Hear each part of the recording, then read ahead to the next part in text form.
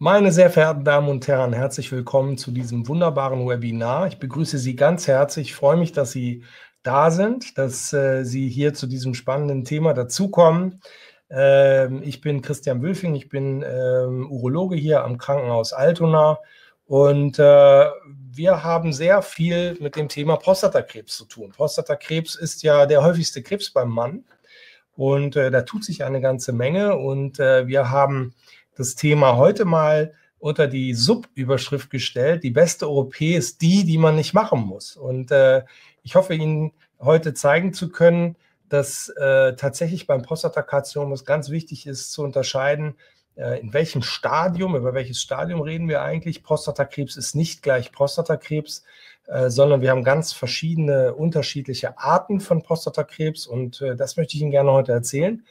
Und tatsächlich möchte ich auch einen kleinen Fokus natürlich legen auf die OP, ähm, aber immer mit der vorausgeschickten Botschaft, die beste OP ist die, die man nicht machen muss. Und dazu werde ich Ihnen gerne auch ein bisschen was erklären. Und dann fangen wir jetzt mal an.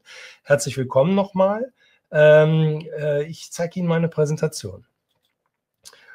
Hier ist nochmal das Begrüßungsfoto. Sie sehen das, äh, den Titel, den ich Ihnen gerade genannt habe, die beste OPs, die man nicht machen muss. Aktuell ist es zum Prostatakrebs. Und äh, für diejenigen, die neu hier sind, vielleicht noch ganz kurz zum Ablauf. Ähm, ich werde Ihnen jetzt im Prinzip diesen Online-Vortrag hier halten. Das wird ungefähr eine Dreiviertelstunde dauern. Und ähm, Sie haben die Möglichkeit, hier über unser System auch Fragen einzugeben. Ich glaube, das ist selbsterklärend. Ich werde versuchen, Ihre Fragen zum Teil schon mit in meinen Vortrag einzubauen und sie da zu beantworten. Zum Teil werde ich aber auch ähm, vielleicht ähm, das am Ende beantworten. Ich denke, wir werden am Ende auch noch ein bisschen Zeit haben, über Fragen zu diskutieren. Ähm, was habe ich mir vorgenommen? Sie sehen hier nochmal ähm, die, den Inhalt dieser Präsentation, die ich zusammengestrickt habe. Und zwar denke ich, ist es wichtig, dass man äh, vielleicht an dieser Stelle, weil man davon ausgehen muss, dass nicht alle denselben Wissensstand haben, nochmal einen kleinen Überblick zu geben mit dem Titel äh, Was ist alles, was ich wissen muss? Was ist eigentlich beim Prostatakarzinom wichtig zu verstehen? Und tatsächlich möchte ich gerne heute mal die Operation fokussieren. Sie werden schon gleich einen kleinen Überblick bekommen, was es für unterschiedliche Methoden gibt beim Prostatakarzinom. Aber äh, tatsächlich ähm, fand ich es wichtig, heute mal in dem ähm, Kapitel hier die Operation genau unter die Lupe zu nehmen, auch ein bisschen mal genauer zu erklären, Ihnen auch ein paar Beispiele zu zeigen, wie das Ganze funktioniert. Und da wir jetzt eigentlich heute sogar fast auf den Tag genau unser vierjähriges Jubiläum haben, mit unserer tollen äh, Da Vinci-Technologie, einer robotisch assistierten Technologie, die äh, wirklich aus meiner Sicht ganz bahnbrechende äh, Unterschiede nicht nur in der Urologie gebracht hat, sondern auch zukünftig in vielen chirurgischen Disziplinen mit sich bringen wird. Denke ich, ist das auch von Interesse, da mal ein bisschen genauer reinzugucken, ein bisschen intensiver, was man vielleicht äh, sonst nicht so hat, also gewissermaßen ein Blick auch hinter die Kulissen. Und natürlich möchte ich Ihnen einfach auch am Ende mal zeigen, wie wir unsere äh, Patienten also in Altona behandeln, was uns wichtig ist, wofür wir stehen äh, und vielleicht interessiert Sie das auch. Starten wir direkt durch mit dem ersten Kapitel Prostatakarzinom Allgemeines dazu. Was muss ich zum Prostatakarzinom wissen? Und da geht es natürlich direkt schon mal los, meine Damen und Herren, mit der Anatomie. Ähm, Sie sehen hier auf dem Bild, ich habe so einen kleinen Pointer dabei, äh, mal so von vorne eine männliche Anatomie mit der Harnblase, mit der Prostata darunter und letztendlich auch äh, mit der Harnröhre, die letztendlich durch die, durch die Prostata durchzieht, durch auch den Beckenboden zieht und natürlich beim Mann äh, die Harnröhre durch den Penis verläuft und am Ende die Harnröhre hier vorne ihre Öffnung hat. Und das ist eine wichtige, ein wichtiger Zusammenhang anatomisch. Und wenn man genauer hinschaut, dann sehen Sie das hier in der Mitte auf dem Bild, dass wir die Harnblase ja gewissermaßen als Speicherorgan haben mit diesen zwei kleinen Löchlein äh, die Sie, glaube ich, hier im Bild ganz gut sehen können, wo die Harnleiter den Urin einleiten in die Blase. Und Sie können ebenfalls gut sehen, dass die Prostata sich wie so ein, äh, ja, sich so um die Harnröhre legt. Und ähm, ich zeige Ihnen später nochmal auf einem Bild, da wird es ein bisschen deutlicher. Sie müssen sich vorstellen, dass äh, wir Männer direkt unter der Prostata hier den Schließmuskel haben, mit dem wir kneifen. Das ist bei Frauen eigentlich nicht anders, nur dass keine Prostata da ist. Und äh, das ist eine wichtige Voraussetzung, wenn man über Prostatakrebs und Operationen spricht, dass natürlich der Operateur weiß, wie die Anatomie des Menschen aussieht. Und zum Glück bei allen Unterschiedlichkeiten, die wir so erleben, mit Haarfarbe und äh, Nasenlängen und solchen Dingen äh, innen drin, sehen die meisten Männer doch sehr, sehr ähnlich aus, sodass wir ein auch sehr standardisiertes Vorgehen beim Operieren anbieten können. Wenn Sie sich das Ganze von der Seite anschauen, hier im rechten Bild, ähm, da ist es so, sehen Sie nochmal so ein paar Details. Da ist gewissermaßen die Blase, die ist hier in diesem Fall ganz gut gefüllt. Äh, Sie sehen darunter die Prostata und Sie sehen jetzt nicht so gut die Harnröhre, die zieht im Prinzip hier zwischen die oder im Penis durch und das, worauf Sie schauen, sind die Schwellkörper. Die Schwellkörper sind insofern natürlich wichtig, weil sie dem Mann die erektile Funktion ermöglichen. Und was Sie hier auch schon ganz gut sehen können, äh, sind diese gelben, roten und blauen Kabel. Rot und blau sind im Allgemeinen die Blutgefäße, die dort unten so sind. Und da sehen Sie, dass äh, diese Organe recht gut durchblutet sind. Da sprechen wir gleich auch nochmal drüber. Aber Sie sehen auch die gelben Kabel. Und die gelben Kabel sind nichts anderes als die Nerven. Und da können Sie schon ganz gut sehen, dass wir Nerven haben, so ist es im Schema hier angedeutet, die sowohl ähm, zum Schließmuskel ziehen. Der Schließmuskel ist, wie gesagt, unter der Prostata direkt, also dafür sorgen, dass der Mann äh, gut den Urin abhalten kann, den Schließmuskel schließen kann.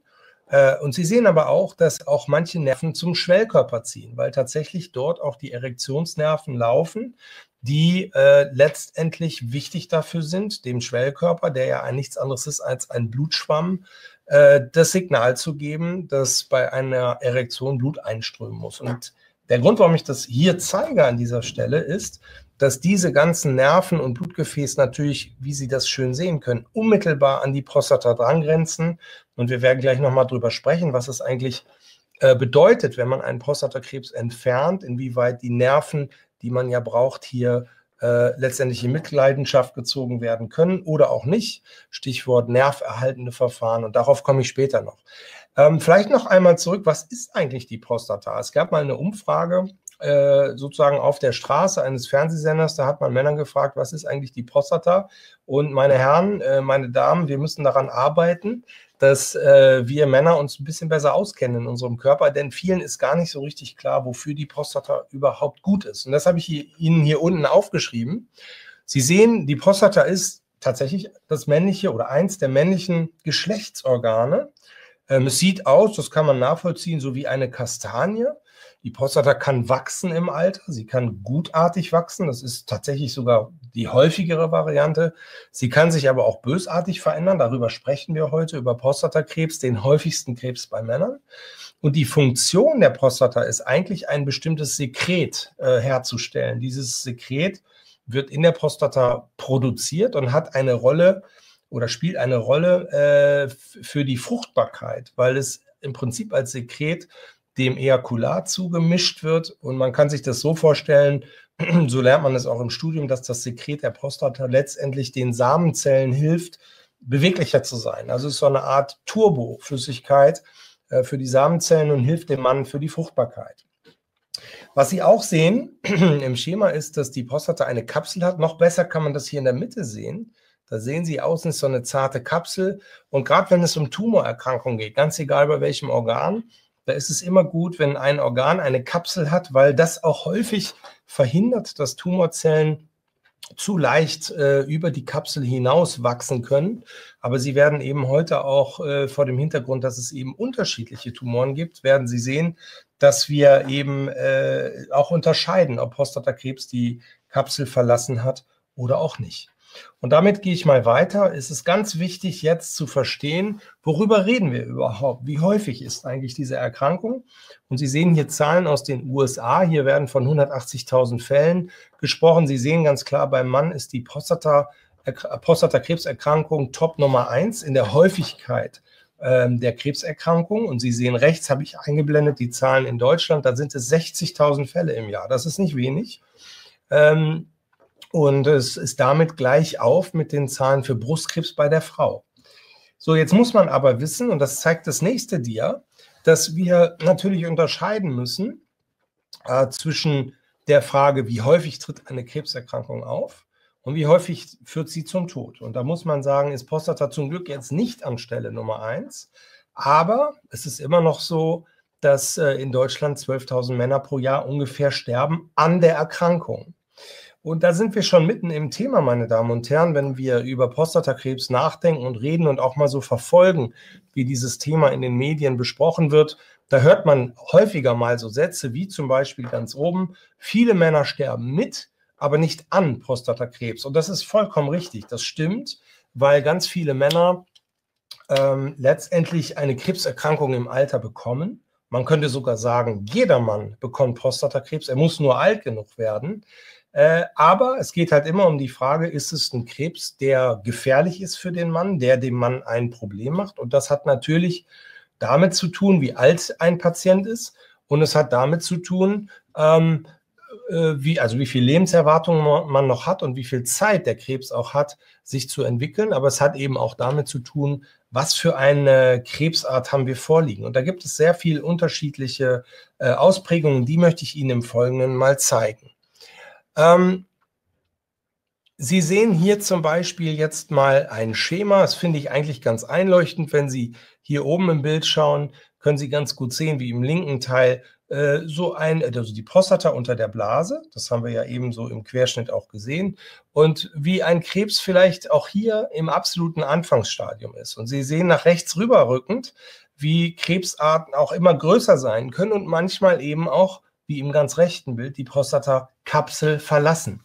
Und wenn Sie sich jetzt die Grafiken unten mal anschauen, dann sehen Sie, dass wir bei Diagnosestellung, also wenn der Patient zum allerersten Mal seine Diagnose bekommt, leider haben wir Prostatakrebs festgestellt, dann sehen Sie im linken Bild, dass wir in ungefähr 80 Prozent der Fälle ähm, hier glücklicherweise Patienten entdecken in einem organbegrenzten Stadium.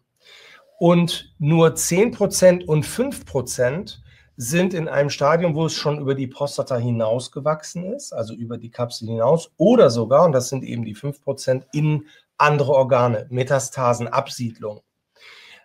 So, jeder von uns weiß, dass es immer besser ist, wenn ein Krebs auf das Organ begrenzt ist. Und äh, das ist schon der erste Hinweis darauf, auf was ich gleich noch komme, wie wichtig die Früherkennung für diese Erkrankung ist, dass man möglichst eine Krebserkrankung, Prostatakrebserkrankung, früh erkennt, bevor ein Krebs aus der Kapsel hinauswächst und im schlimmsten Fall in andere Organe hineinwächst.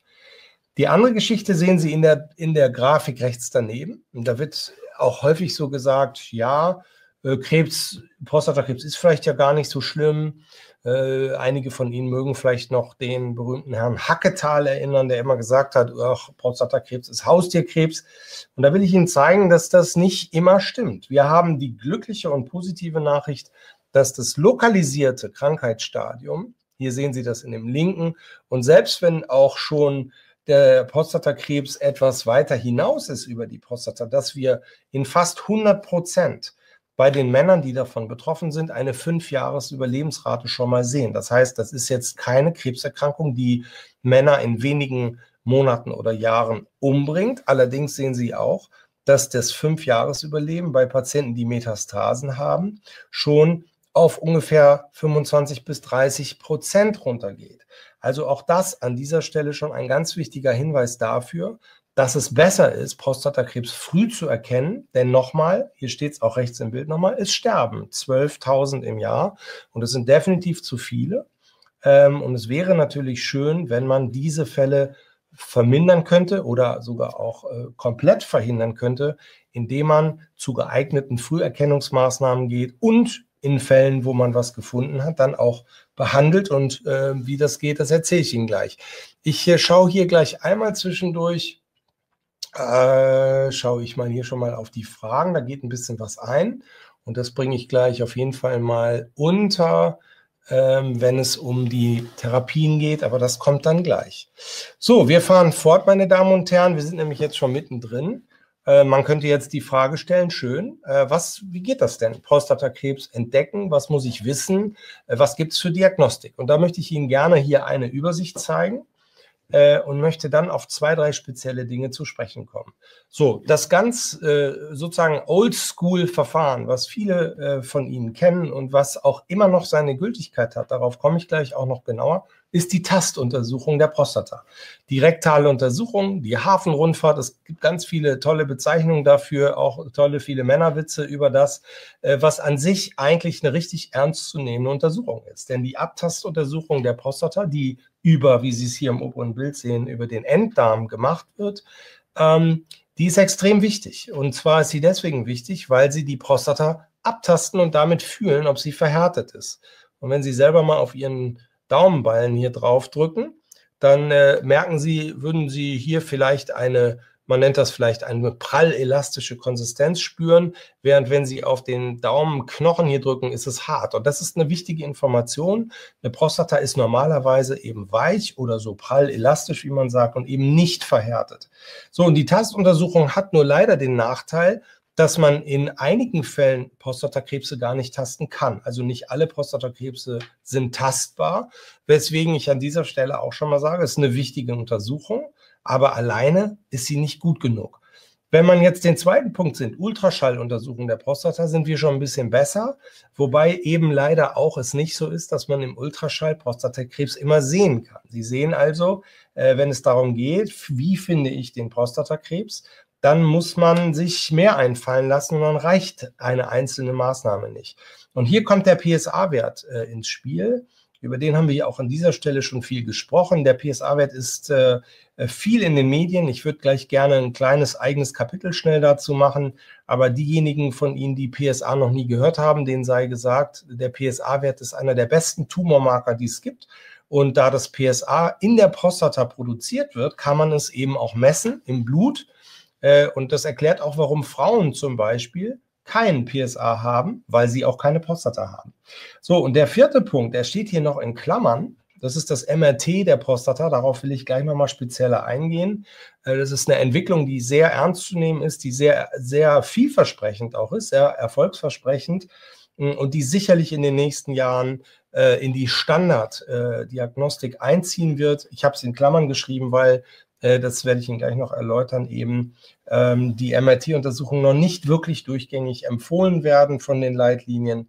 Ähm, aber es ist, glaube ich, kurz davor. Der letzte Punkt, die Gewebeprobe, die Biopsie, ist auch wichtig. Auch dazu gleich noch ein bisschen mehr, weil wir natürlich irgendwie auch unseren Verdacht, wenn wir einen Verdacht haben über Abtast, PSA, MRT, müssen wir den Verdacht äh, erhärten und müssen eine Biopsie nehmen.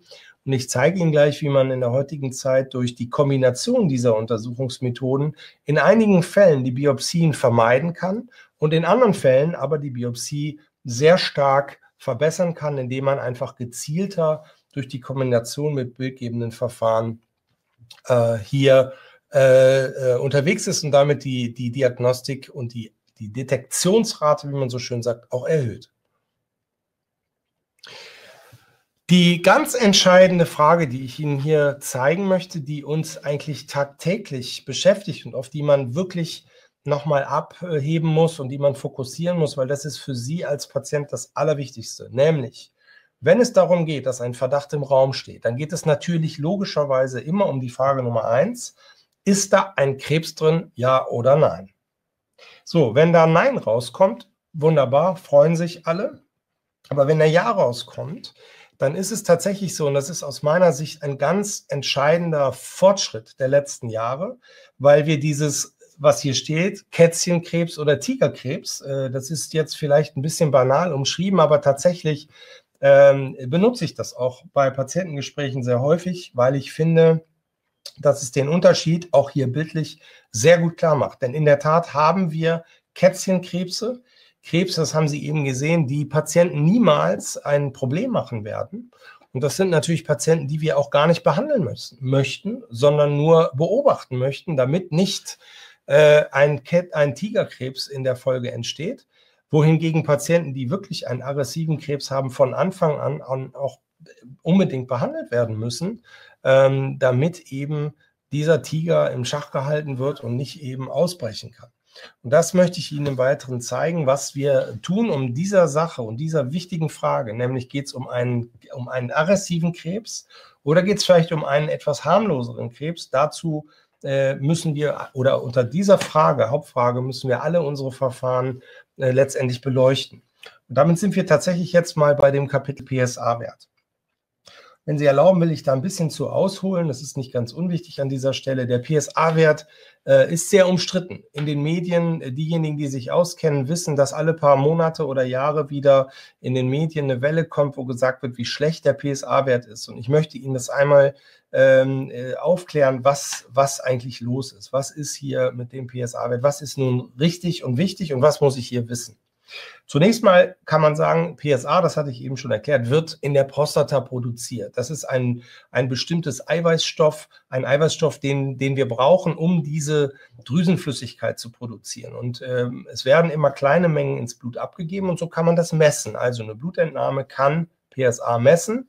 Und ich hatte Ihnen gesagt, dass Frauen auch deswegen keinen PSA-Wert haben und auch die, die keine Prostata mehr haben, haben eigentlich in der Regel auch keinen PSA-Wert. Insofern sehen Sie schon, es geht auch darum, äh, zu gucken und, und letztendlich das PSA zu benutzen als Tumormarker. Und ich habe hier schon vorweggenommen, es ist einer der besten Tumormarker und ich habe in, in Klammern nochmal dahinter geschrieben, wirklich.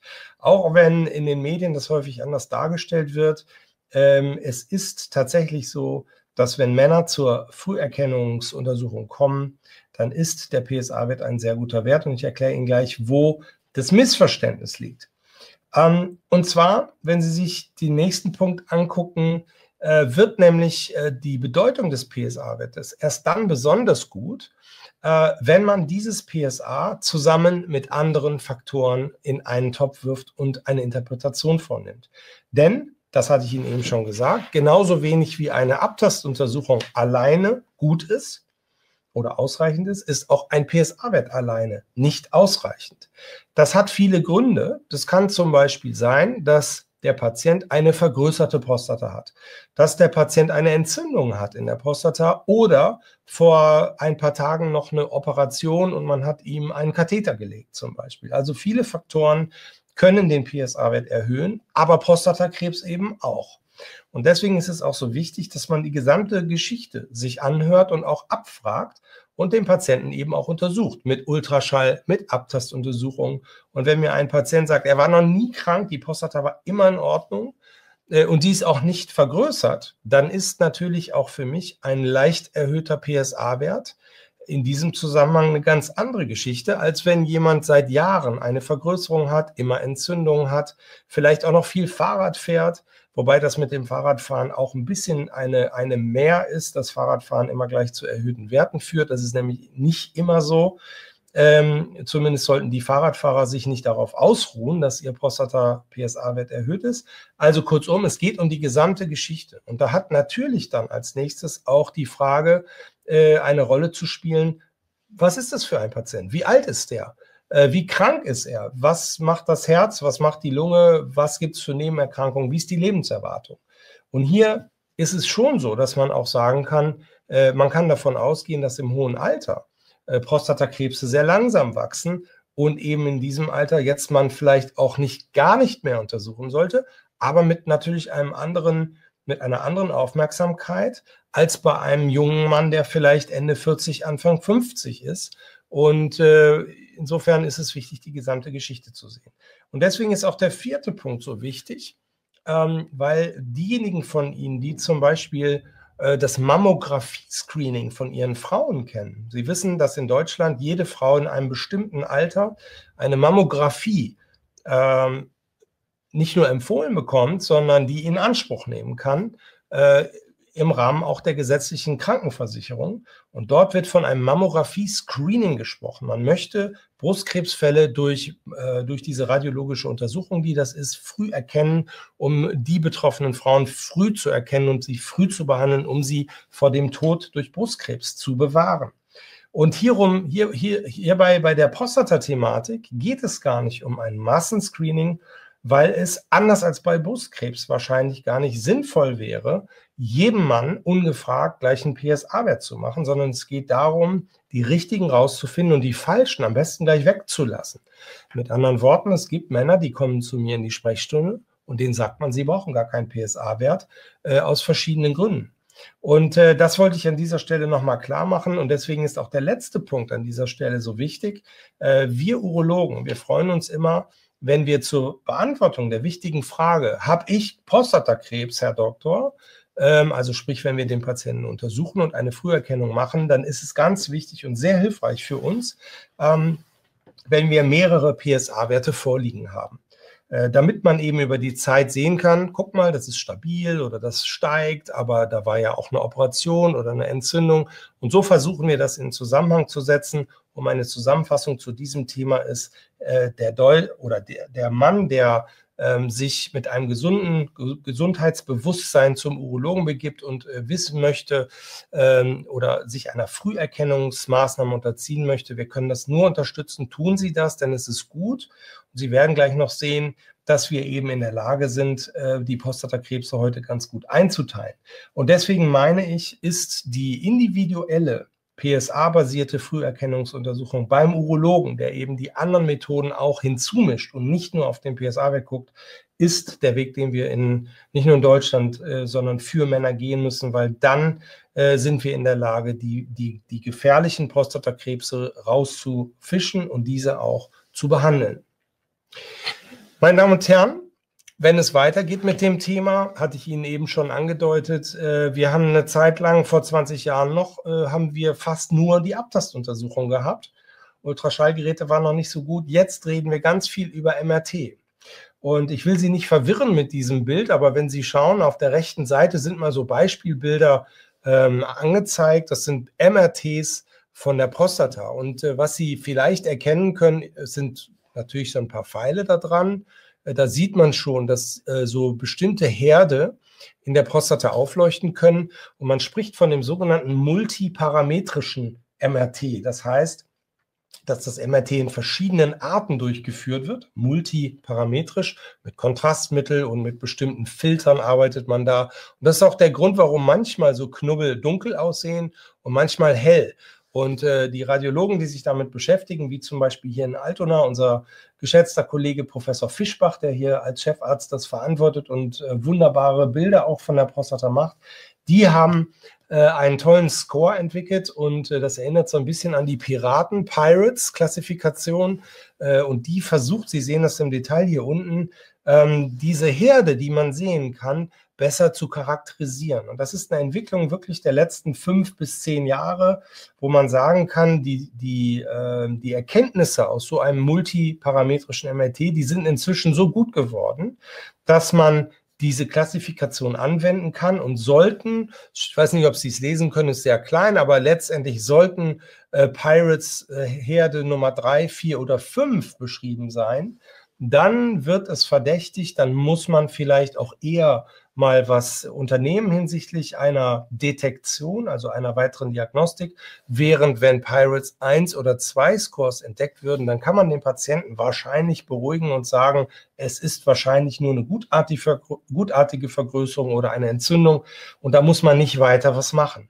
Kurzum, und das sehen Sie hier in den beiden Punkten im dritten und vierten dritten und vierten Zeile.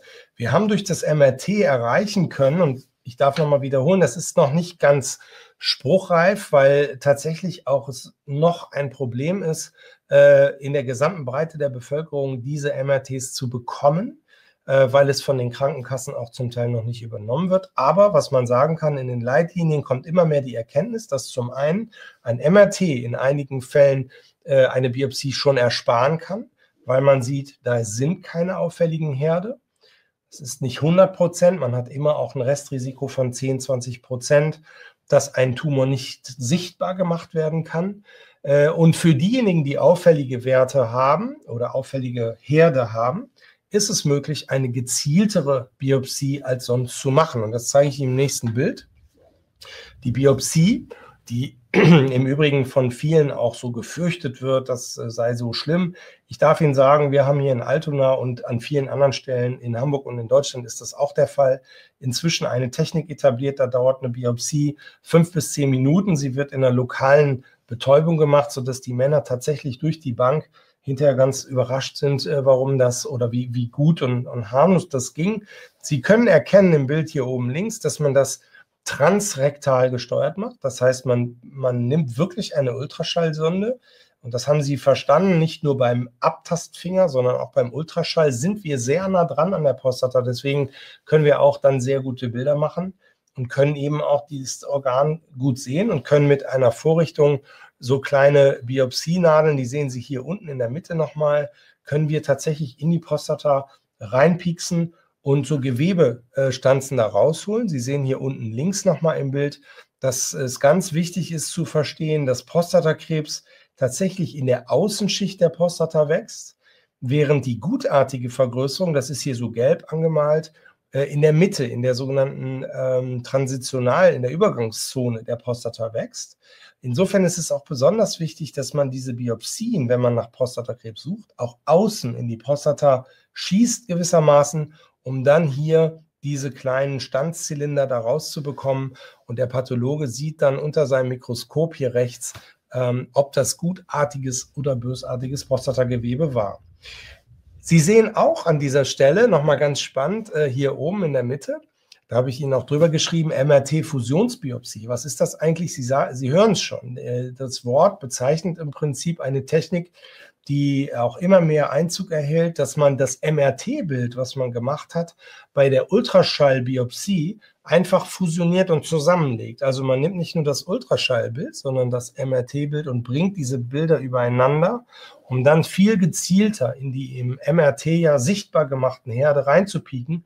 Und damit kann man eben die Treffsicherheit für die Patienten durch so eine Technik bei der Biopsie auch deutlich erhöhen.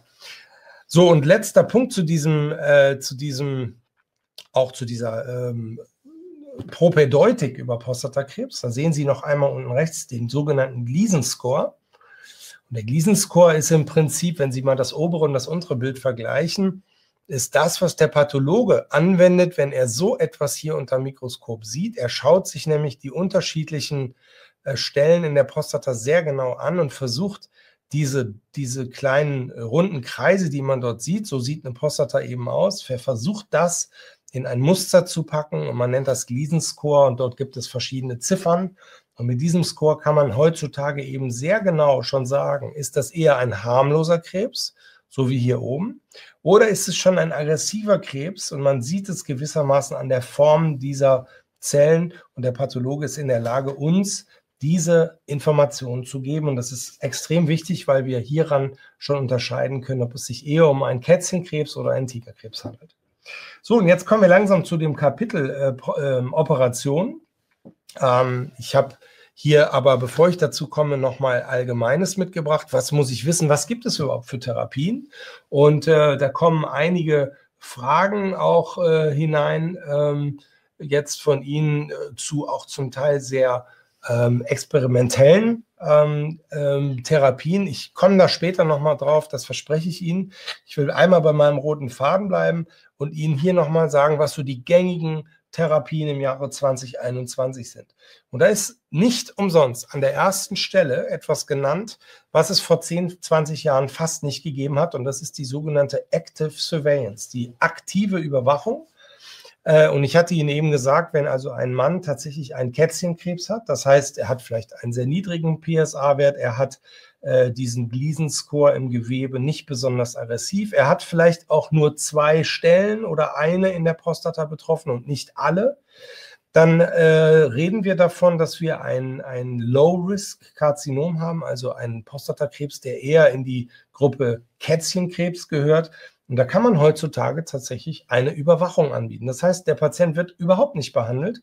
Und das meinte ich so ein bisschen eben auch für Patienten, die beste OPs, die man gar nicht machen muss. Äh, es gibt tatsächlich viele Patienten, die auch zu mir zu einer Beratung kommen und denen man sagt, äh, man muss sie gar nicht operieren oder behandeln. Wichtig ist nur, dass man ihren Prostatakrebs im Auge behält und in einem bestimmten Muster auch nachguckt, im halben Jahr zum Beispiel, auch so eine Biopsie nochmal wiederholt, um zu gucken, auch vielleicht ein MRT nochmal wiederholt, um zu gucken, äh, ob sich dieser Tumor verändert und vielleicht aggressiver wird, um dann später eine Behandlung zu machen. Aber wie gesagt, wir wissen, dass viele Patienten, die diesen Niedrigrisikobereich betroffen sind, über viele, viele Jahre häufig ganz stabil bleiben und sich diese Krebse auch gar nicht groß bewegen. Und äh, diejenigen, und da sind wir wieder bei der schlechten Nachricht mit 12.000 Todesfällen pro Jahr, die so ein aggressives Karzinom haben, die gehören auch behandelt. Und da hatte ich Ihnen erzählt, haben wir neben der Operation, das haben wir in anderen Vorträgen hier auch schon thematisiert, die Bestrahlung. Und ähm, hier kommen zum Beispiel auch so Fragen äh, zu Arten, zu verschiedenen Arten von Bestrahlung. Ich will das nur ganz kurz mit streifen. Sie sehen hier im Bild zum Beispiel diese kleinen weißen Pünktchen. Das sind die sogenannten Seeds, eine, eine Brachytherapie, Low-Dose-Brachytherapie. Es gibt aber auch Hochdosisbestrahlung. Es gibt Protonenbestrahlung. Und äh, da sind der Fantasie und auch der, den, den äh, verschiedenen Methoden kaum Grenzen gesetzt. Wichtig ist immer, dass bei der Auswahl des Verfahrens Sie sich äh, an Profis wenden, die möglichst auch etablierte Verfahren anwenden. Ich habe von äh, in Ihrer Frage hier auch von experimentellen Ansätzen jetzt hier schon gehört. Das können Sie nachlesen, äh, dass nämlich äh, bestimmte Kügelchen in die Prostata gegeben. Da ist viel los aber man kann eben noch nicht wirklich abschließend äh, beurteilen, ob das für die Patienten gut ist. Besonders gute Ergebnisse und auch Langzeitergebnisse haben wir für die Operation. Und äh, ich möchte Ihnen vorschlagen, dass wir an dieser Stelle jetzt mal in das Kapitel 2 geben und äh, diese äh, Operationstechnik noch mal ein bisschen beleuchten. Ähm, und zwar ist es so, äh, man kann immer die Frage stellen, wer braucht eigentlich die Operation und wie funktioniert diese Operation. Ich habe Ihnen hier mal ein schönes altes Bild mitgebracht. Äh, das benutze ich sehr gerne. Das ist, äh, wie gesagt, aus dem Jahre 1922, also äh, mittlerweile jetzt auch bald 100 Jahre her, denn so lange gibt es die Prostatakrebsoperation schon. Ähm, also Sie sehen aber, dass das hier auch unter völlig anderen Bedingungen gemacht wurde. Die Narkose, die gab es noch nicht sehr lange. Antibiotika gab es auch noch nicht sehr lange. Und Sie sehen, äh, so mit Sterilität und diesen Dingen war das eine ganz andere Situation. Diese erste OP, die wurde in einem Hörsaal gemacht, wie das damals so gängig war. Äh, da kann ich Sie beruhigen. Das machen wir hier nicht. Wir haben, können Sie auch äh, auf unserer Homepage sehen, äh, tolle Operationssäle, die natürlich äh, State of the Art sind, wie man so schön sagt, und wo alles nach Standard 2021 läuft. Ähm, wenn man sich die Frage stellt, wer kommt eigentlich in Frage für so eine Prostatakrebsoperation, da ist immer ganz wichtig, und das ergibt sich aus dem, was wir besprochen haben, nochmal zu gucken, äh, es sollten natürlich möglichst Patienten sein, die einen Prostatakrebs haben, der auf die Prostata begrenzt ist, der möglichst nicht über die Prostata hinausgewachsen ist und metastasiert ist, weil dann würde ja die Prostataentfernung auch keinen großen Unterschied mehr machen.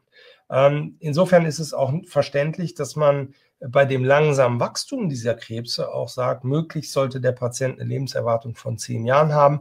Und man muss natürlich gucken, dass die Nebenerkrankungen, die sind hier nochmal gemeint mit Komorbidität, jetzt nicht verhindern, dass der Patient eine Narkose zum Beispiel bekommen kann. Das sind die Grundsätze. Die wichtige Frage dann ist, was sind eigentlich die Ziele für so eine Operation? Und da ist natürlich das erste Ziel ganz klar, der Krebs muss raus. Ganz wichtig, der Krebs muss raus und zwar sicher. Das muss das erste Ziel sein. Und wenn man weiß, dass man das nicht schafft, dann ist auch eine Operation häufig gar nicht unbedingt zumindest oder zumindest alleine, eine alleinige Operation, nicht die Wahl. Da muss vielleicht eine zusätzliche Bestrahlung oder Hormontherapie gemacht werden. Aber das ist das, ist das wichtige Ziel. Nun ist es aber bei der Prostata ja das Besondere, dass sie von ihrer Organlage her, das haben Sie im Anfang äh, gesehen, sie hat eine unmittelbare Bedeutung auch für die Kontinenz, also für das Urinhalten, weil der Schließmuskel so nah dran ist. Und dadurch, dass die Nervenstrukturen so nah dran sind, ist auch die Potenz hiervon abhängig, nicht von der Prostata selbst, aber von den Nerven, die da so nah bei entlangziehen. Das hatte ich Ihnen im ersten Dia gezeigt. Und wenn man sich mal anschaut, wie geht eigentlich so eine OP, dann ist das Prinzip eigentlich recht einfach. Sie sehen hier, wie ich finde, zwei ganz anschauliche Bilder, äh, nämlich hier nochmal unser Bild vom Anfang. Und es ist wirklich die Aufgabe des Chirurgen mit der Methode, die er anwendet, mit der Operation, in dem Fall die Prostata zwischen Harnblase und Schließmuskel, den Sie hier eigentlich sehr schön sehen können, der ist jetzt quer angeschnitten, aber eigentlich ist das so wie so eine Irisblende, ähm, den man ja kneifen kann. Äh, und diese Prostata muss hier genau entfernt werden. Und wenn wir davon sprechen, dass der Tumor gut entfernt werden muss, dann ist es besonders wichtig natürlich äh, zum einen die die Strukturen gut zu erhalten. Sie wollen den Schließmuskel möglichst nicht hier verletzen. Sie wollen aber auch nicht die Prostata drin lassen oder zu knapp hier sein, äh, weil dann unter Umständen tatsächlich ähm, kleinste Anteile von der Krebserkrankung drin bleiben. Das will man nicht. Und wenn Sie sich vorstellen, dass man das hier rausoperiert, dann haben Sie zwischen Harnblase und zwischen Harnröhre hier im Prinzip so eine Lücke. Und diese Lücke die geht schnell zu, weil die, die Blase fällt so ganz leicht nach unten und fällt in diese Lücke rein. Das ist nicht das Problem, aber Sie müssen dann im Prinzip diesen Blasenhals und die Harnröhre, den Harnröhrenstumpf hier neu verbinden. Und wir nennen das die Anastomose. Eine Anastomose ist eine Neuverbindung zwischen Blase und Harnröhre. Und das machen wir in unserem operativen Verfahren. So, und dann kommt äh, die Frage häufig auch auf, ja, ich habe gehört, es gibt äh, offene große Schnittoperationen, es gibt aber auch Schlüssellochoperationen. Und ich habe Ihnen das kurz einmal aufgeführt hier zur Übersicht. Man muss ganz klar sagen, äh, meine Meinung ist dazu, am Ende zählt nicht die Methode, sondern es zählt der Operateur, der die Methode, die er am besten kann, am Patienten anwendet. Und das ist das, worauf Sie auch achten sollten. Äh, nicht jeder Operateur ist gut am Roboter und nicht jeder Roboterchirurg ist gut am offenen operieren. Es gibt ähm, äh, Chirurgen, so wie ich zum Beispiel auch das Glück gehabt habe, alle Methoden zu lernen, nämlich erst die offene Operation vor 20 Jahren ungefähr und dann die minimalinvasiven Techniken, also die normale Schlüssellochchirurgie, wie Sie es hier im Bild sehen können, und die Da Vinci-Technik, auf die ich jetzt ein bisschen spezieller eingehen möchte, äh, die ist sozusagen seit einigen Jahren erst in Deutschland verfügbar. In den USA wird inzwischen schon, werden 95 Prozent der Operationen damit gemacht. Und ich glaube, das ist eine ganz wichtige Entwicklung. Äh, und wir können froh sein, dass wir daran teilhaben, weil der Patient aus meiner Sicht hier ganz klare Vorteile hat, die sich auch in eine verbesserte Qualität der Operation niederschlagen. So, und damit sind wir im dritten Kapitel, ähm, nämlich das Special über die roboterassistierte Da Vinci-Technik. Und das möchte ich Ihnen einmal jetzt zeigen. Fangen wir nochmal kurz an mit der, mit der Historie. Das ist nämlich ganz interessant wenn man sich mal anschaut, äh, die erste Laparoskopie, also mit Schlüssellochtechnik mit einer Kamera in den Bauch gucken, wurde bei einem Hund zuerst gemacht 1901 und es hat dann nochmal 80 Jahre gedauert, äh, bis zum Beispiel die erste Gallenblase entfernt wurde. Und alle von Ihnen wissen, glaube ich, dass das heute die absolute Standardmethode ist, eine Gallenblase oder auch einen Blinddarm zu entfernen. Und was Sie auch sehen, ist, dass wir in der Urologie ein bisschen noch gebraucht haben, äh, sowohl die Nephrektomien, also die Nierenoperationen laparoskopisch zu machen. Großer Schwerpunkt übrigens unserer Abteilung hier in Altona. Und Sie sehen, dass es noch ein bisschen länger gedauert hat, nämlich die erste minimalinvasive Prostatektomie, die wurde so vor guten 20 Jahren gemacht. Und äh, was ich gerade schon erwähnte, wir haben einen ganz klaren äh, Paradigmenwechsel in den letzten Jahren, immer mehr hin zu minimalinvasiven Techniken, immer mehr hin zu mehr schonenden äh, Operationen und die Da Vinci-Technik, die ich Ihnen jetzt gerne nochmal im Detail vorstelle, wird in den USA bereits in 95 Prozent aller Prostatakrebsoperationen durchgeführt.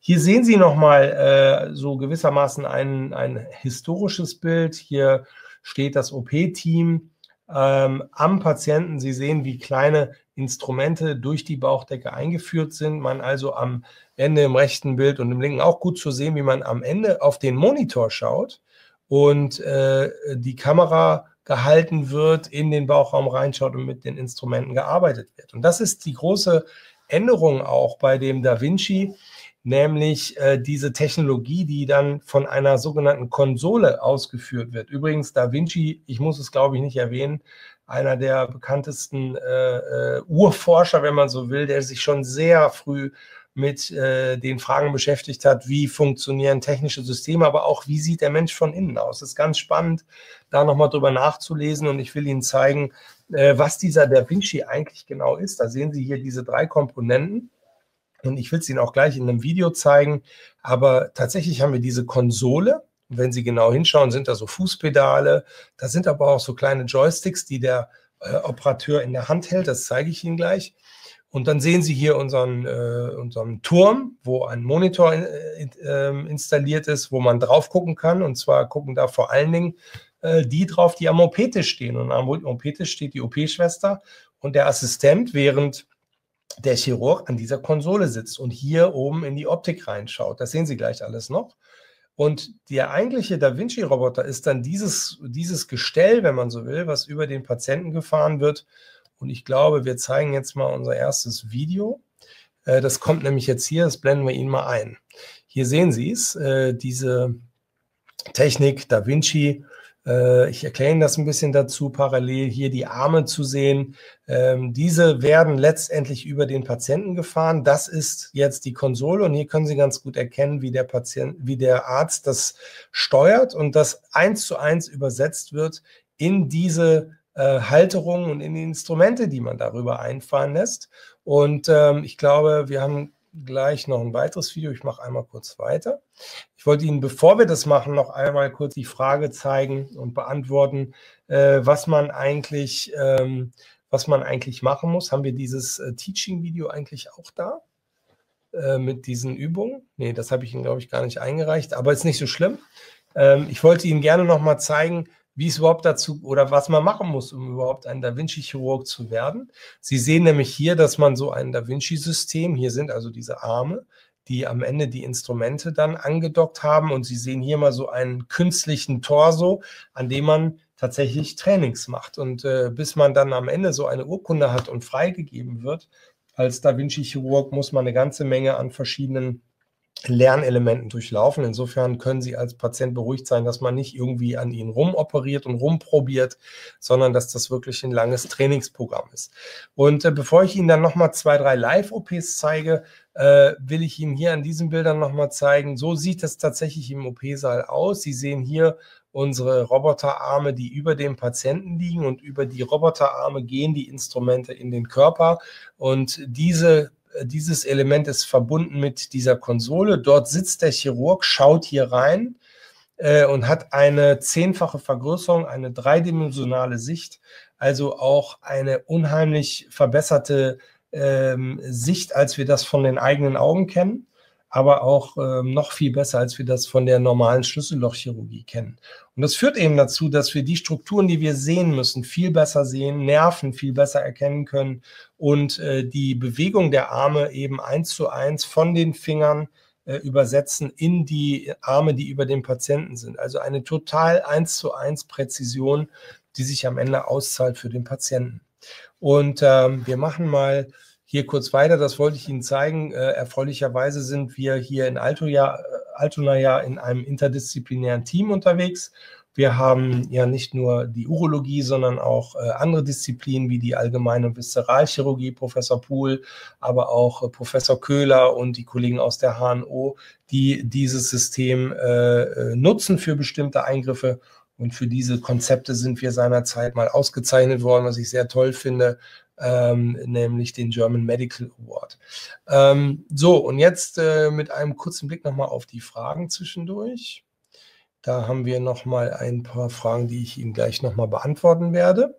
Und jetzt kommt die entscheidende Frage, meine Damen und Herren, nämlich nochmal, wer kommt jetzt eigentlich in Frage? Und hier sind wir wieder bei dem Thema Kätzchen oder Tiger. Ich hatte Ihnen gesagt, dass die Patienten, die in der niedrigen Risikogruppe sind, und immerhin sind es 30 Prozent aller Prostatakrebspatienten. Das sehen Sie hier in dieser Zeile. Alle Prostatakrebspatienten sind diese Gesamtheit und die niedrige Risikogruppe, das sind ungefähr 30 Prozent und die mittleren und hohen Risiken sind 70 Prozent. Das bedeutet im Umkehrschluss, wenn der Titel des heutigen Vortrages lautet, äh, die beste OP ist die, die man nicht machen muss, dann äh, sind das genau diese 30 Prozent und tatsächlich ist es auf der ganzen Welt so, dass die Zahl für die radikale Prostatektomie in den letzten zehn Jahren um circa 15, 20 Prozent schon runtergegangen ist, weil man gelernt hat, die Patienten mit einem niedrigen Risiko, die muss man gar nicht operieren, die kann man beobachten. Deswegen bei der Frage, wer kommt in Frage für diese OP, sind es im Wesentlichen äh, sind es im Wesentlichen die Patienten aus den mittleren und hohen Risikogruppen, also eher die Tigerkrebse, die hier behandelt werden. Und ähm, ich möchte Ihnen die Technik im Speziellen jetzt nochmal zeigen und äh, möchte einmal anfangen, dieses Bild hatte ich Ihnen eben schon gezeigt, mit äh, einem äh, kleinen ähm, äh, OP-Video aus dem, aus dem Saal. Da sehen Sie nämlich hier ganz gut, wie der Operateur an der Konsole sitzt und diese Joysticks äh, bedient und selber dort oben hineinschaut. Ich glaube, das kann man ganz gut erkennen.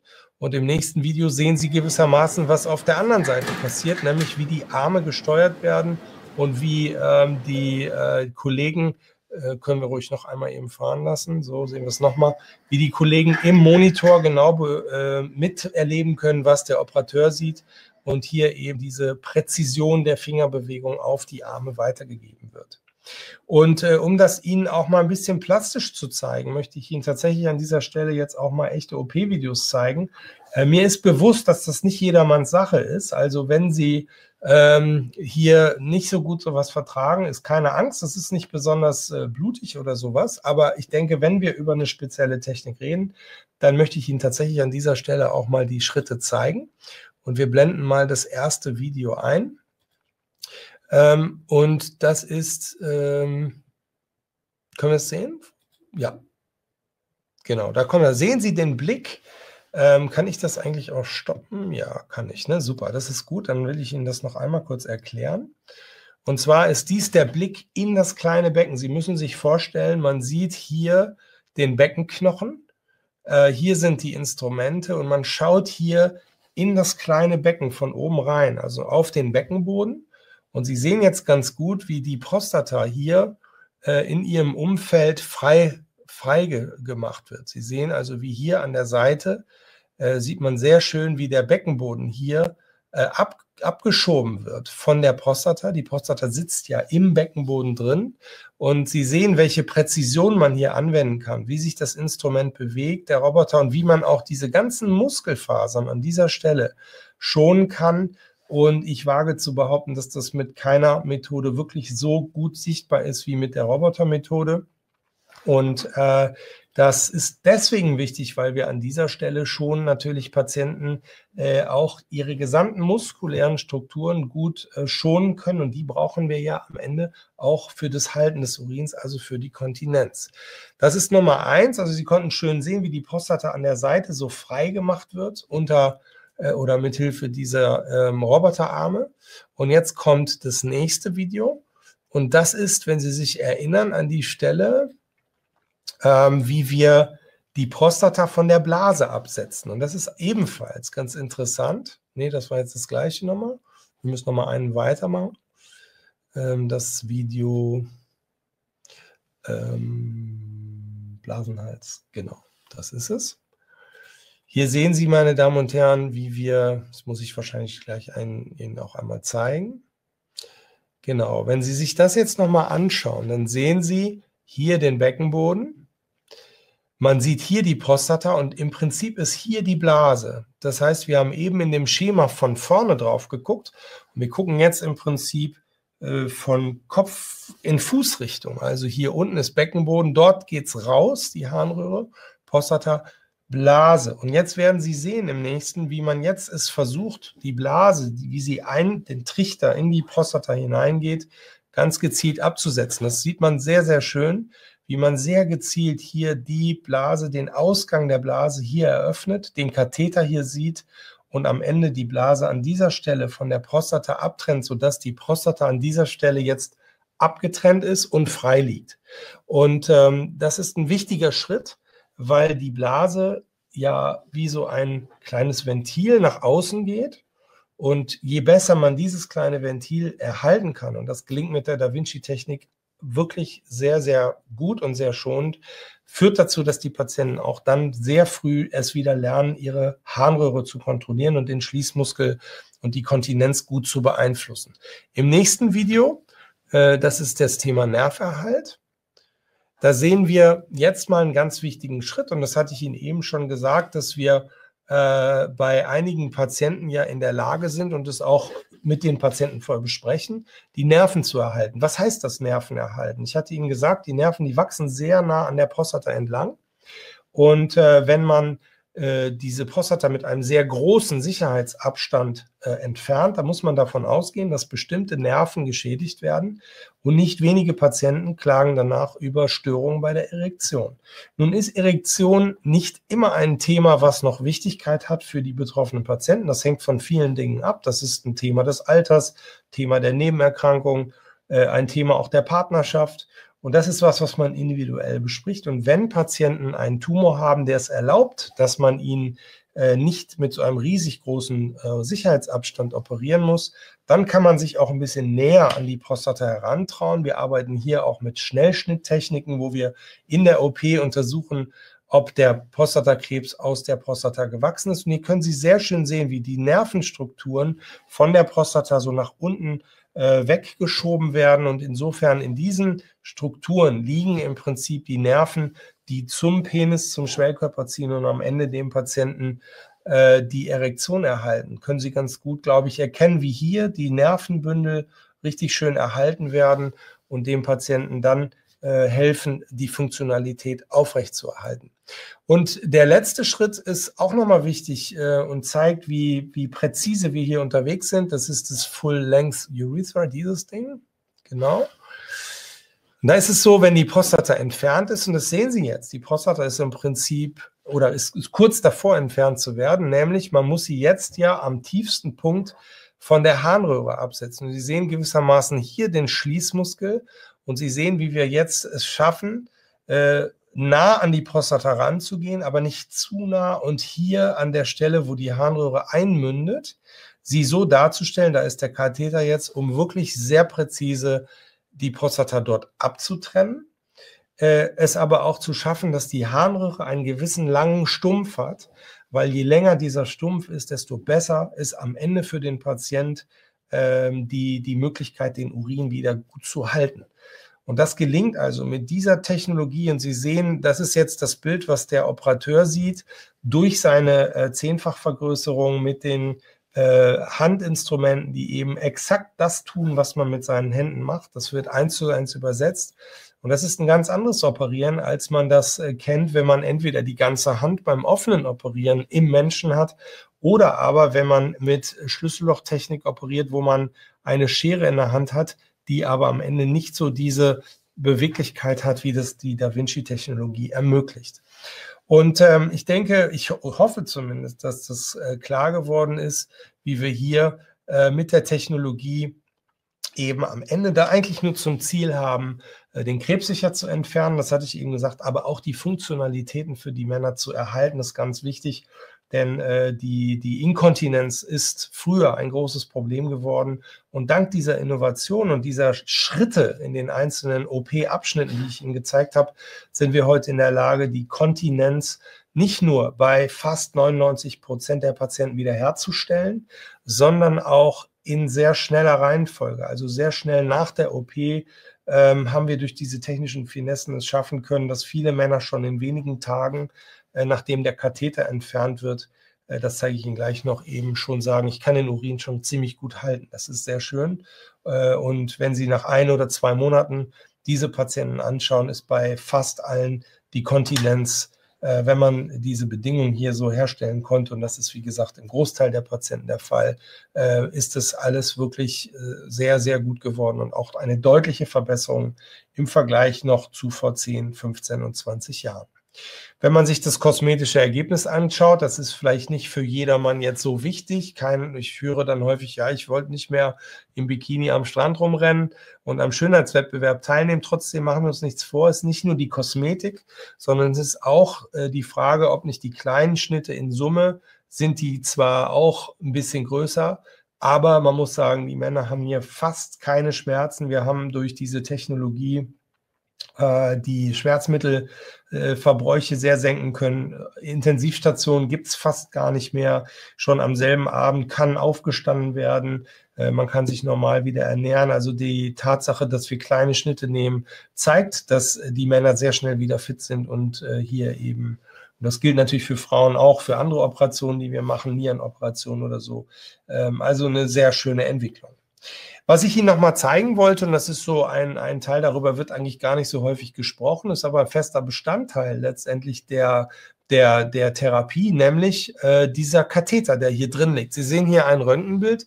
Ähm, ich hatte Ihnen das vielleicht noch nicht so gesagt. Wenn wir die neue Verbindung nähen zwischen Harnblase und Harnröhre, die Anastomose, dann muss hier ein Katheter rein, der die Blase einfach leer laufen lässt über fünf Tage damit diese Verbindung nicht unter Wasser steht, sondern einfach gut abheilen kann. Ich denke, das ist eine klare, äh, kann man klar verstehen. Und Sie sehen jetzt mal, was wir dann nach fünf Tagen machen. Nach fünf Tagen machen wir ein sogenanntes Zystogramm, also eine Röntgenuntersuchung der Harnblase. Wir nennen das auch Dichtigkeitsprüfung. Sie sehen hier den Katheter, den kann man sehen, weil die Spitze des Katheters immer, äh, der hat Metall, so dass man hier das im Röntgenbild sehen kann. Und dann geben wir Kontrastmittel also eine Flüssigkeit, die leuchtet im Röntgen, geben wir in die Blase. Und Sie sehen hier sehr gut, dass die Blase sich hier füllt. Sie sehen auch, dass der Ballon, mit dem der Katheter sich hier festhält, hier am untersten Teil im Prinzip den Katheter festhält. Und was Sie dann sehen, ist, dass wir hier sehr genau hingucken, denn dies ist die Stelle, wo die Harnröhre an die Blase neu angenäht ist. Und Sie sehen in diesem Fall, dass das Kontrastmittel nur in unserer Blase ankommt, aber nicht mehr rausläuft. Das heißt, man kann sagen, die Anastomose ist dicht, äh, der Katheter kann entfernt werden. Im nächsten Bild zeige ich Ihnen ein anderes Beispiel. Da ist es nämlich so, da sehen Sie vergleichbar hier, dass an dieser Stelle Kontrastmittel austritt. Ein Kontrastmittel extravasat nennen wir das. Also da tritt noch ein bisschen was aus. Das ist auch überhaupt nicht schlimm.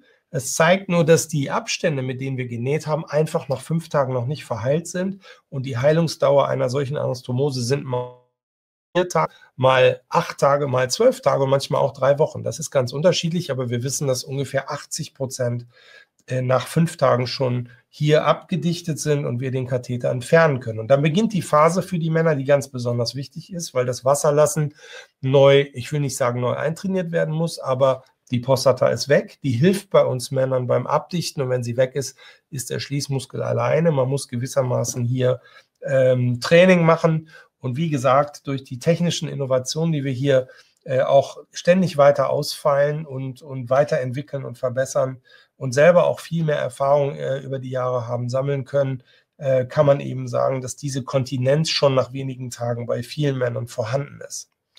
So, und zum Schluss, meine Damen und Herren, möchte ich Ihnen in ganz wenigen äh, ähm, Aspekten nochmal zeigen, wie wir es in Altona eigentlich machen. Wir haben eine Stunde jetzt rum, das passt genau richtig, dann können wir gleich noch ein bisschen diskutieren. Ähm, bei uns ist es so, dass wir ähm, in Altona sowohl auf dem Sektor Diagnostik wie auch Therapie hier eigentlich alles anbieten. Wir haben bei uns in der Urologie ähm, mit unseren Nachbardisziplinen. Natürlich, PSA ist klar, da braucht man nichts Großes für außer Laborgeräte, aber wir haben tatsächlich auch diese MRT-Technologie hier am Hause, die wir auch äh, anbieten können. Ähm, das ist etwas, was letztendlich im Zusammenspiel mit den niedergelassenen Urologen läuft. Wenn Sie Interesse haben, äh, können Sie sich bei denen melden. Die können sich bei uns melden oder Sie können sich bei uns melden. Und auch die Biopsietechniken, die ich Ihnen eben gezeigt habe, sind hier gut vertreten. Ähm, die Therapie, also Da Vinci Prostatektomie, habe ich Ihnen gezeigt.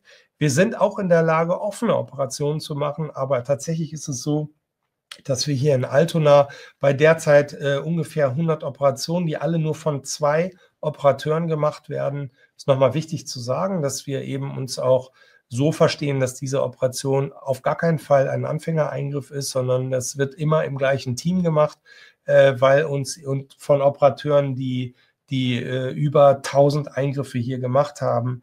Und das ist etwas, was wir äh, wichtig finden, dass dem Patienten dieses Qualitätsversprechen auch an die Hand gegeben wird. Völlig egal, äh, welche Krankenversicherung dahinter steht. Äh, aber eben auch so Dinge wie Tumorboard, also mit Experten anderer Disziplinen, Onkologen, Strahlentherapeuten, Fälle zu besprechen, finden wir sehr wichtig. Dort sind wir vernetzt, auch hier im Asklepios Tumorzentrum mit anderen Abteilungen, die sich dann per Video zum Teil auch aus anderen Kliniken zuschalten. Aber auch das Thema medikamentöse Therapie, da haben wir heute jetzt gar nicht drüber gesprochen. Dort finden Sie im Asklepios-Kanal auch äh, ältere Videos zu dem Thema Medikamente, also Hormontherapien, Chemotherapien. All das können wir anbieten. Und nicht zum Schluss habe ich auch geschrieben, die aktive Überwachung, also die ähm, die Behandlung bei Niedrigrisikofällen. Ähm, ich habe mich, ich freue mich immer, wenn wir Patienten äh, auch ein, oder wenn wir Patienten ein Feedback mit nach Hause geben und wir von Patienten auch ein Feedback bekommen. Und ähm, ich möchte Ihnen sagen an dieser Stelle, dass das für uns wirklich äh, ganz wichtig ist in der Abteilung, äh, mehr zu sein als nur Chirurgen, die irgendein Organ rausnehmen, äh, sondern es ist ja wichtig, Patienten und Männer in dieser Situation zu begleiten, wo es wirklich um mehr geht, als irgendein Organ zu entnehmen. Es ist was völlig anderes als eine Blinddarm-OP, weil eben auch so Sachen wie Kontinenz und Potenz, Sexualität hiervon äh, berührt sind. Und am Ende ist natürlich auch eine Prostatakrebserkrankung ernst zu nehmen. Und ich habe mich, ich freue mich wirklich über jeden einzelnen Kommentar. Hier ist mal das Portal Klinikbewertungen angegeben, was man anschauen kann wo wir äh, wirklich auch sehr schöne Kommentare haben. Und wenn man einen Kommentar äh, eine Kritik enthält, können Sie sicher sein, beschäftigen wir uns da intensiv mit, weil wir finden, dass eine Kritik immer auch eine Möglichkeit ist, dass wir uns verbessern können. Und das steht ganz oben bei uns. Ähm, äh, schlussendlich möchte ich einmal zusammenfassen, bevor wir dann gerne auch Ihre Fragen nochmal sprechen, äh, besprechen. Äh, bitte nehmen Sie nochmal mit der Titel des heutigen Vortrages ist ja Aktuelles zum Prostatakarzinom und Schwerpunkt Operation. Die beste OP ist, die man nicht machen muss. Trotzdem, wir haben in Deutschland 60.000 Neuerkrankungen jedes Jahr. Das ist der häufigste Krebs beim Mann. Es sind gleich viele Fälle wie bei Frauen Brustkrebs. Wir haben 12.000 Todesfälle. Da kann man jetzt drüber streiten, ob das viel oder wenig ist. Ich persönlich finde, es sind 12.000 zu viel.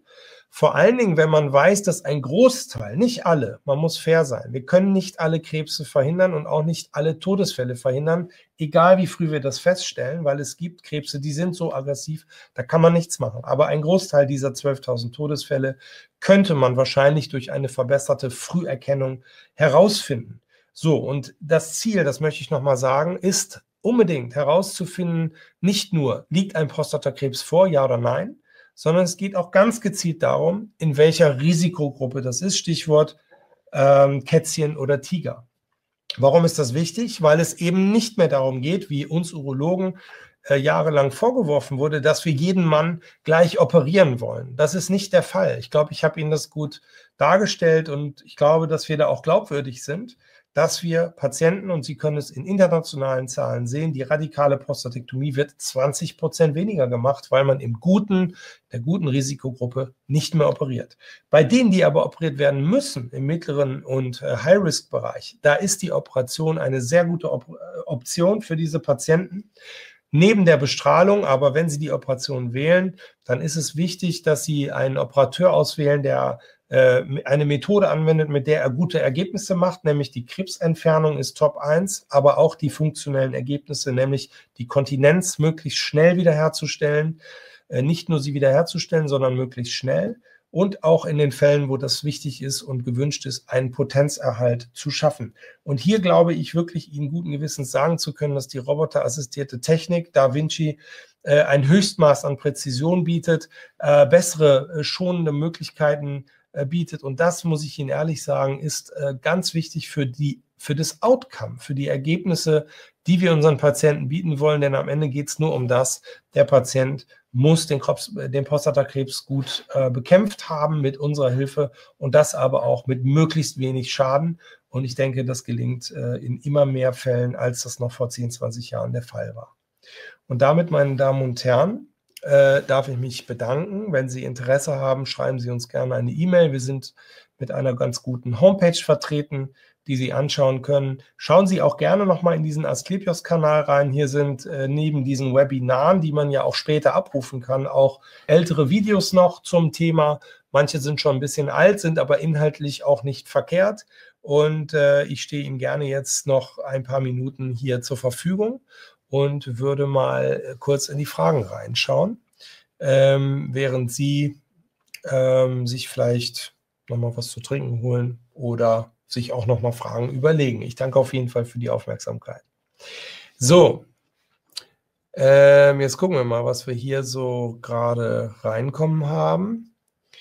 Da haben wir so ein paar Anmerkungen zu technischen Dingen. Ich hoffe, die sind überwunden. So, wir haben hier einige Fragen. Ich sehe das hier rechts in meinem Laptop, deswegen gucke ich sie nicht an. Ich lese es hier auf meinem Screen.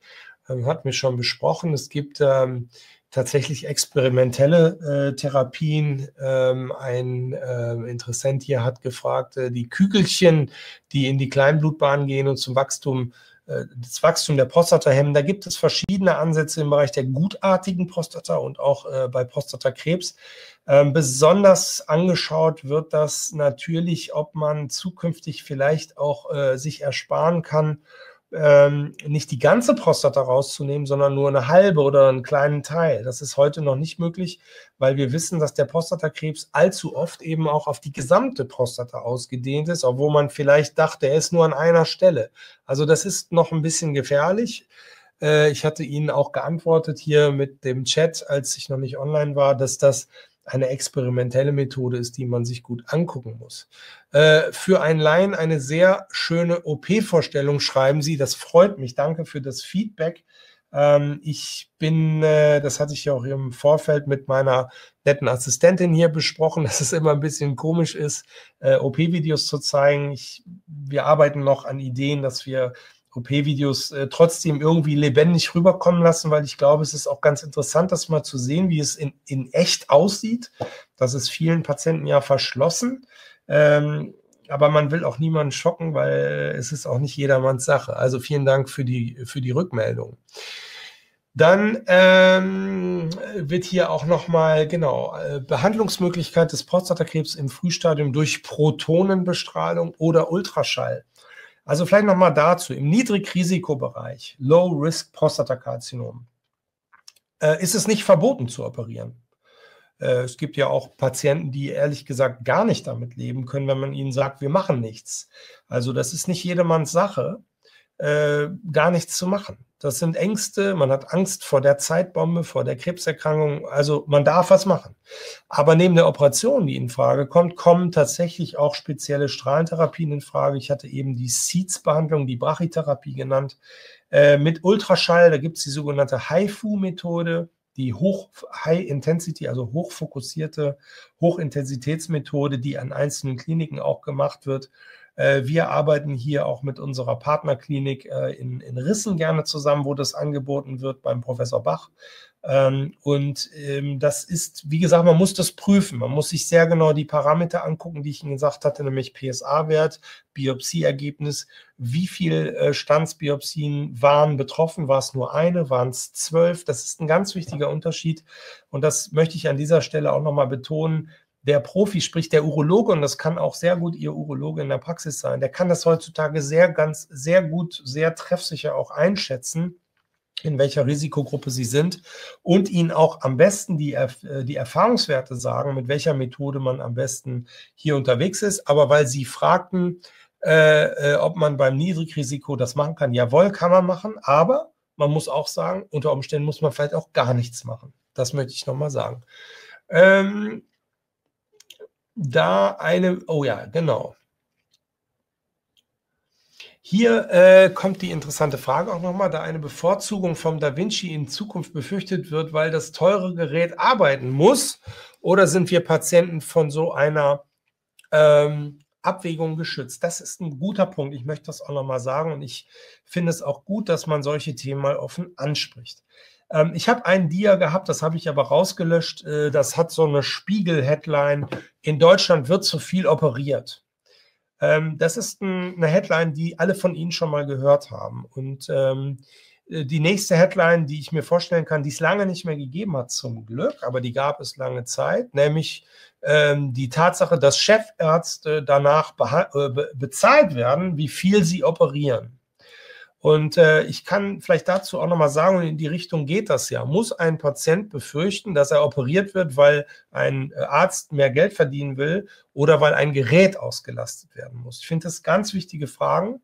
Und ich sage Ihnen aus wirklich tiefstem Herzen und mit, mit wirklich absoluter Ehrlichkeit, diese Befürchtungen müssen Sie nicht haben, weil Ad 1, es gibt eine Änderung oder es gibt ein klares Berufsrecht, nicht mal eine Änderung, das war schon immer so, dass ähm, in unserem ärztlichen Berufsrecht Bezahlung nach äh, einer Menge, also nach dem Motto, mach noch fünf Prostata-OPs mehr, dann kriegst du mehr Geld, ist verboten. Das gibt es nicht und das ist auch äh, in, in Verträgen äh, nicht mehr existent. Das hat es früher vielleicht mal gegeben, aber ich habe zum Glück so einen Vertrag nie gehabt.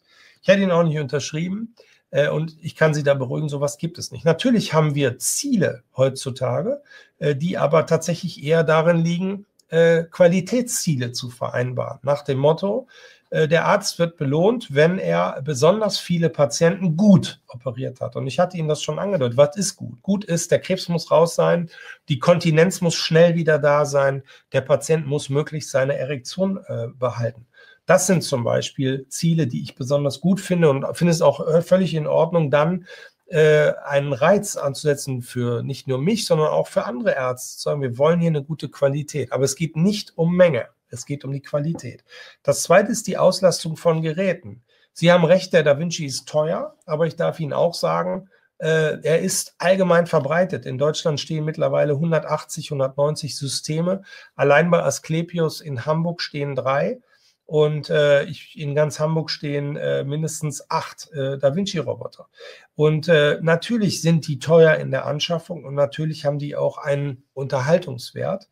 Aber ich glaube, wir würden uns sehr schnell äh, sehr viele Feinde machen, wenn klar würde, dass wir Patienten unter das Messer legen mit Prostatakrebs, die eigentlich gar nicht operiert werden müssen. Und ich sage nochmal, auch meinen Patienten. Es gibt viele, die würden das hier bestätigen. Ich meine sogar einen Kommentar hier gelesen zu haben. Die beste OP ist die, die man nicht machen muss. Und damit gehen wir auch auf Patienten zu.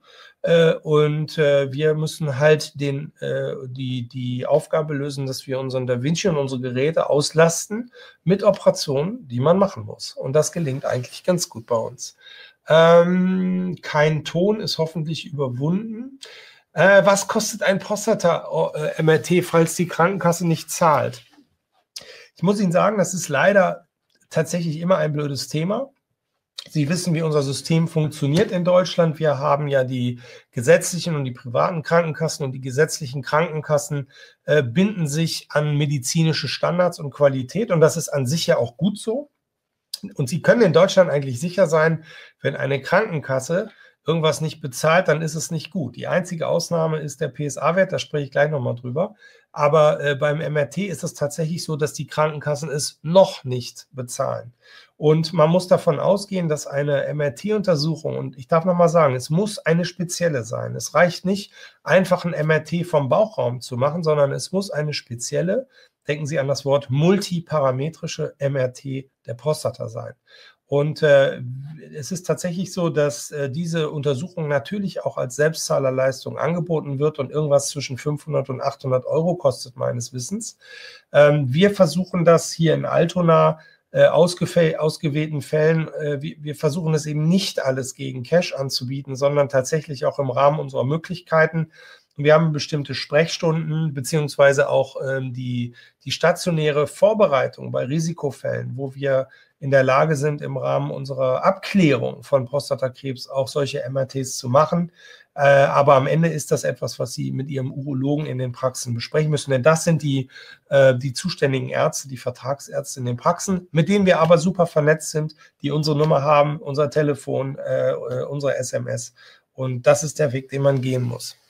Äh, ich sehe aber ganz kurz nochmal dazu, dass in den nächsten Jahren wird dieser Trend kommen und die MRTs werden sicherlich auch äh, durchgängig bezahlt werden. Das ist meine, äh, meine, ähm, meine Vorhersage. Wie viele Operationen werden in Altona gemacht? Das haben wir schon besprochen. Wir haben, man muss immer unterscheiden, das möchte ich Ihnen auch nochmal mitgeben. Die Frage ist wichtig. Wie viel machen Sie in Altona? Noch wichtiger ist, wie viel macht der Mensch, der Sie operiert? Wie viel macht der und wie viel hat der schon in seinem Leben gemacht? Das ist eine ganz wichtige Frage für jeden Operateur, für jede Erkrankung an jedem Krankenhaus in Deutschland. Denn äh, es gibt, wenn ich Ihnen sage, ja, wir machen äh, äh jetzt 200 OPs, aber ich mache nur eine immer im Jahr, dann ist eben die Frage, ob ich der richtige Operateur für Sie bin. Bei uns ist es so, um es nochmal konkret zu sagen, wir haben äh, sehr, sehr viele minimalinvasive mit dem da, äh, Operationen mit dem Da Vinci. Prostata ist ein Teil davon mit ungefähr 50 bis 100 Operationen im Jahr, die aber alle von meiner Wenigkeit und meinem Vertreter, dem Dr. Magerball, gemacht werden. Und äh, wir sind eben, äh, sagen wir von unserer eigenen Entwicklung aus Kliniken, haben es gelernt äh, über viele Jahre an Kliniken, wo eben auch in einem sogenannten High-Volume- äh, Zentrum sowas gemacht wurde, sodass wir tatsächlich viele, viele Operationen, äh, zum Teil vierstellige Zahlen hier überblicken. Ähm, so, ich glaube, so langsam kommen wir hier ähm, zum Ende. Altersbeschränkung ist ein Thema. Das haben wir, glaube ich, auch gesehen, dass unsere YouTube-Videos aus welchen Gründen auch immer einer Altersbeschränkung unterliegen. Ist ganz interessant. Also ich persönlich, aber es hat, glaube ich, trotzdem geklappt mit der Übertragung. Ähm, ja, dann fragt noch jemand, ganz gute Frage. Ähm, sagen Sie bitte die Ursachen des Karzinoms. Dazu kann ich Ihnen sagen, wir wissen es nicht. Wir wissen nicht, warum Prostatakrebs entsteht. Es gibt bestimmte Risikofaktoren und dazu gehört nicht all das, was Sie gefragt haben. Dazu gehört nicht Rauchen, nicht Sport, nicht Sex, gar nichts. Dazu gehört eine Familienanamnese. Das heißt, wenn Ihr Vater, Ihr Onkel, Ihr Bruder von Prostatakrebs betroffen ist, dann ist das Risiko selbst Prostatakrebs auch leicht erhöht. Trotzdem wissen wir nicht, was genau führt dazu. Also es gibt auch keinen Risikofaktor. Es wurde verschiedene Ernährungsstoffe wurden untersucht. Äh, ich kann Ihnen sagen, es gibt nichts, wo man sagen kann, verzichten Sie auf dies oder das, dann haben Sie weniger Prostatakrebsrisiko. So, dann äh, wird nochmal gefragt, ähm, äh, wenn der Schließmuskel verletzt wird, was kann dann gemacht werden? Also, man muss ganz klar sagen, jeder Operateur, der diese Operation macht, hat Patienten, die leider nicht vollständig kontinent sind. Und dort gibt es verschiedene Abstufungen von leicht inkontinent bis stark inkontinent. Und äh, wenn Sie in einen anderen äh, Videobeitrag äh, meiner Abteilung gucken, sehen Sie meinen äh, Oberarzt, den Dr. Magerwall, der ein aus, äh, wirklich ausgefuchster Profi ist, sehr versiert ist im Bereich der Inkontinenztherapie mit seinem Team. Wir haben hier auch zwei Ärztinnen äh, dabei und kümmern uns sehr um dieses Segment. Das heißt, auch wenn Sie von diesem Problem Inkontinenz betroffen sind, fühlen wir uns verantwortlich, ihnen zu helfen, können das tun mit entweder äh, konservativen Therapien, bestimmten Beckenbodentechniken, äh, bis hin zu tatsächlich dem künstlichen Schließmuskel. Es wird jetzt zu weit führen, wenn ich das hier nochmal erzähle, in Anbetracht der fortgeschrittenen Zeit, aber es ist ein System, wo sie äh, tatsächlich für, wo uns die Männer immer rückmelden, seitdem sie den künstlichen Schließmuskel und davon operieren wir hier in Altona ungefähr 30 bis 50 Systeme jedes Jahr mit steigender Tendenz, weil es eine sehr erfolgreiche Operation ist, die dazu führt, dass die Männer sagen, es hat ein neues Leben für mich angefangen, denn wer mal ein paar Monate inkontinent war oder gar länger und wirklich Windeln gebraucht hat, der fühlt sich wirklich richtig erlöst, wenn wir solche Systeme verbauen. Allerdings, und das ist die Frage, das geht nicht mit dem Da Vinci. Sowas wird mit äh, kleinsten Schnitten am Damm gemacht und das schauen Sie sich gerne mal in unserer Mediathek an, wo es um dieses Thema geht. Und damit, meine Damen und Herren, ähm, kommt das letzte, die letzte Frage. Die ist ganz besonders wichtig, wenn der PSA-Wert so wichtig ist, Warum wird er dann nicht von der Kasse bezahlt? Hier möchte ich Ihnen noch die letzten zwei, drei Minuten nochmal widmen. Das ist eine besonders wichtige Frage. Und ich sage Ihnen, die Urologen sind hiermit auch extrem unzufrieden und haben gerade kürzlich, nämlich vor ungefähr vier, acht Wochen, nochmal erleben müssen, dass es in einem weiteren Verfahren des gemeinsamen Bundesausschusses, also in dem Organ, wo das alles entschieden wird, ob eine Krankenkasse sowas übernimmt oder nicht, leider abgelehnt wurde. Und ich sage Ihnen, meine Fachgesellschaft, die Deutsche Gesellschaft für Urologie, hat vor wenigen Tagen einen Brief geschrieben an Herrn Spahn äh, mit der dringenden Aufforderung, und dort sind wir Hand in Hand auch unterwegs mit, mit Selbsthilfegruppen. Wenn Sie sich anschauen, und da möchte ich Werbung für machen, auch der BPS, der Bundesverband äh, Prostata Selbsthilfegruppen, der hier sich sehr eingesetzt hat für die PSA-Bestimmung. Äh, wir alle sind sehr enttäuscht, weil ich glaube, ich habe Ihnen heute klar machen können, und das ist die Position der Urologen. Und ich muss hier nochmal sagen, die Krankenkassen äh, unterliegen nach wie vor auch einem Missverständnis. Denn es geht nicht wie beim Brustkrebs um das Screening. Wir wollen nicht allen Männern, von denen wir gar nicht wissen, wie lange sie noch leben, wie krank sie sind, wie alt sie sind, äh, äh, ob sie vielleicht sowieso eine Prostatavergrößerung haben mit Entzündung, deswegen auch der erhöhte Wert dann äh, vollkommen klar ist. Das wollen wir nicht, sondern wir wollen den Mann, der eine Prostata-Früherkennung macht. Und das sollten möglichst Männer, so wird es in den Leitlinien empfohlen, ab 50 machen, äh, am Anfang einmal zum Urologen gehen. Und sie müssen auch noch nicht mal jedes Jahr wiederkommen, sondern wenn der PSA-Wert besonders niedrig ist, und das ist ja das, warum wir den PSA-Wert auch so gezielt und besonders einsetzen und ihn individuell beurteilen möchten, an Ihrem Beispiel, Ihnen, dem Patienten, von dem wir die Prostatagröße, die Abtastergebnisse äh, und all diese Dinge wissen, um besser einschätzen zu können, wie dringlich ist das, wann müssen Sie wiederkommen, müssen wir aufpassen oder kann man auch sagen, kommen Sie mal in drei Jahren wieder. Die individualisierte PSA-basierte Früherkennung ist der Weg und da ist der PSA-Wert ganz besonders wichtig. Und wenn Krankenkassen das bezahlen sollen, dann denken die immer natürlich an das Screening. Und äh, das hat was mit Geld zu tun. Und das sind auch die Gründe, warum das zuletzt abgelehnt wurde. Wenn Sie meine persönliche Meinung äh, wissen wollen, dann ist es auch so, dass wir hier in der Männerwelt äh, tatsächlich auch nicht eine gute Lobby haben, denn wie Sie sehen, ist es bei Brustkrebs überhaupt kein Thema gewesen. Und ich glaube, hier müssen wir alle miteinander äh, an einer besseren Wahrnehmung auch der Interessen für Männergesundheit arbeiten. Und mit diesem äh, Schlusswort, meine Damen und Herren, äh, möchte ich mich verabschieden. Ich sehe keine weiteren Fragen mehr. Äh, wir haben jetzt 19.24 äh, Uhr. Äh, ich ähm, freue mich, dass Sie da waren. wünsche Ihnen alles Gute und bei Fragen und Anliegen zum Thema Prostatakarzinom wenden Sie sich gerne an Ihren niedergelassenen Urologen oder an uns. Vielen Dank.